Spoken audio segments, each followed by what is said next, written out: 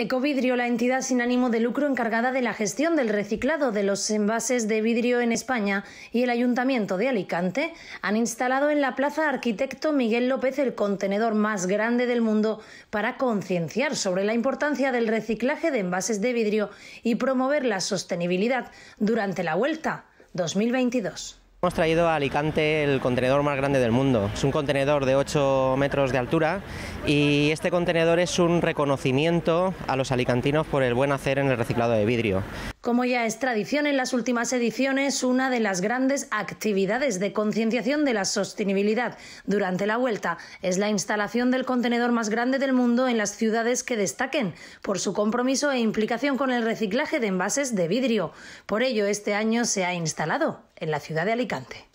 Hemos, que tener en cuenta que Alicante en los últimos seis años ha incrementado el reciclado de vidrio más de un 30% y este último año, este año a, cifras antes de agosto, pues ya llevábamos una cifra importante rondando el 15% de incremento con respecto al año pasado. Oramos con la vuelta en una campaña en la que tenemos patrullas eh, verdes que van en los puntos donde es difícil recoger, sobre todo en etapas de montaña, eh, se hacen labores de recogida de residuos y también este año por primera vez también tenemos unos puntos unos ecopuntos en diferentes puntos de las etapas que eh, permiten a los ciclistas eh, depositar ahí los residuos que van generando durante su recorrido. Mediante esta iniciativa, Ecovidrio y el Ayuntamiento de Alicante colaboran para sensibilizar a los ciudadanos y visitantes de la importancia del reciclaje de envases de vidrio, coincidiendo con el paso de la vuelta.